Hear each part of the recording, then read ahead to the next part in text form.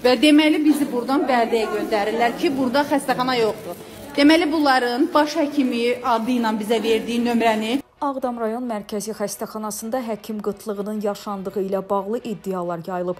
Görüntülər sosial şəbəkələrdə paylaşılıb. Belə ki, xəstəxanaya ağır vəziyyətdə gətirilən 15 yaşlı qıza həkim olmadığından heç bir köməklik göstərilməyib. Hətta baş həkim adı ilə xəstənin yaxınlarına başqa bir şəxsin nömrəsi verilib. Həmin şəxs də xəstənin Bərdəyə göndərilməsini məsləhət görüb. biz götürüb zəng eləmişik. Həkimin bizə məsləhəti gecə saat 12-yə qalıb aparın Bərdəyə. Və xəstəmiz bax bu vəziyyətdədir. Çox xahiş edirəm.